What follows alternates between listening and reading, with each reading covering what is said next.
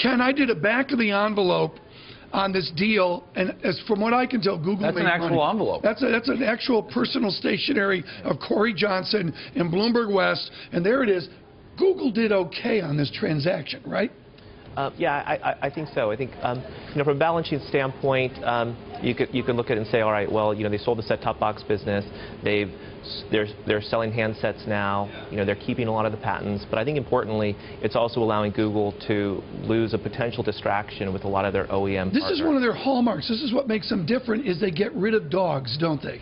Um, I, I think so, it, but it's, it, I think uh, they'll, they'll definitely take some time to, I think, go through those those assets and figure out what is strategic for them. And I think that you know Google is not getting out of the hardware business here or handsets entirely. They continue to do their own products.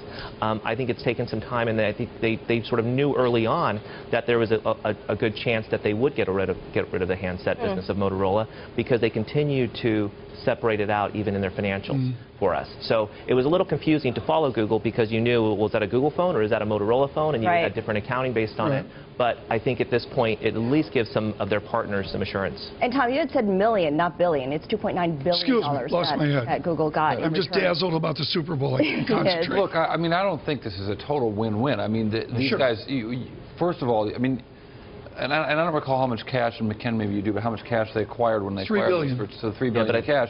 So all in, they're into these patents. So all they've got left from this acquisition are these patents, which they've paid about four billion dollars for. Right. And and this is of questionable value. I mean, this this proves. But take So away you question the- the value of the patents. Somebody put 5.5 billion on it, and that's a mystery to you, Cory? Absolutely. I Do you think it's Yeah. worth I thi- less? I think it might be. I think it might be a liability. I mean, Oh, the, the, the Ken? historic world, the historic Oh, belief in yeah. patents that you acquire, you build, you invent stuff, you patent it, you build a fortress around your patents. That's the way patents used to work. But the way patents seem to work now is that uh, holding a lot of patents and a lot of cash. If you're a big company, with a lot of patents, you get sued all the time.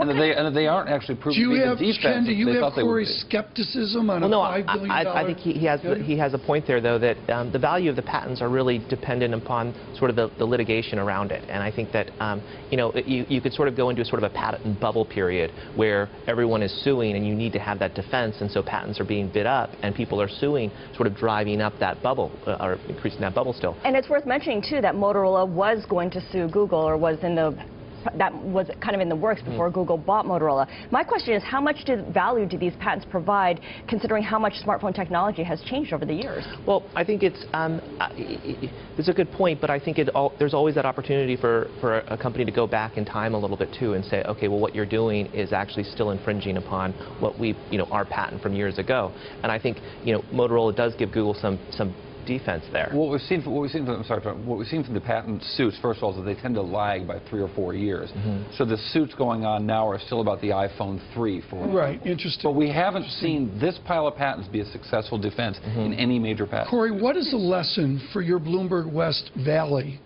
from this transaction? They bought a stodgy, my perception as an amateur, Yeah. a stodgy company. It didn't work out. They jettisoned it to Lenovo. Alex, Lenovo stock went down, right? Lenovo stock uh, did go down, but they're Yeah. the second two maker of uh, smartphones. What's the lesson here for all the Look, the guys? big lesson is that big tech mergers don't work.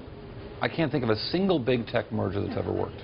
It's got to be small and nimble. But what was the? No, I think Well, I think Marissa with 30 lot of acquisitions. But There's a lot small. of reasons, but well, except that Tumblr was bought for a billion dollars by Yahoo. We'll see if that works. And, but that's I would still say, ag- agree with you that it's not a big, it's big expensive, but it wasn't a big company going with another big tech company. They just they haven't seen it work, whether it's AOL Time Warner or Motorola Google. That hasn't worked. What was the pressure that Samsung might have applied to Google, right? I mean, Samsung phones all use Android OS, and here you have Google making their own phone that has Android OS. What Yeah, and I was that think, and I pressure? Ken may speak to this better, but I, but I think that you know we knew that Samsung was in development of their own OS. There was always this, this existential threat that Samsung, the biggest seller of Android products, would someday say, you know what?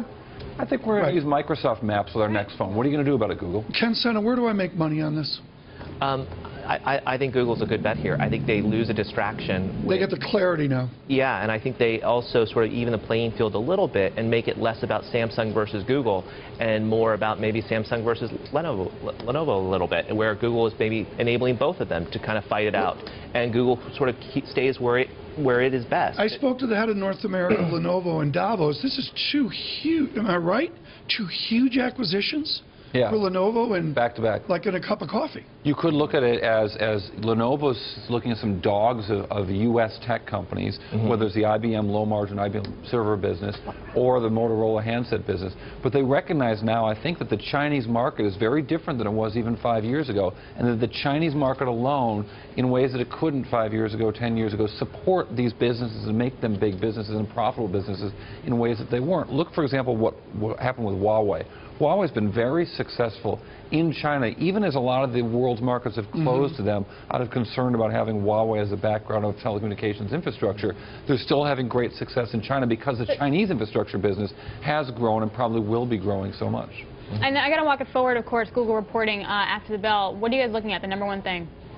Um, you know, for us, I think it's it's ad growth and on a core basis, and I and I feel like we, you know our checks have all been pretty strong for Google, and so we actually feel that you know tonight should be pretty good.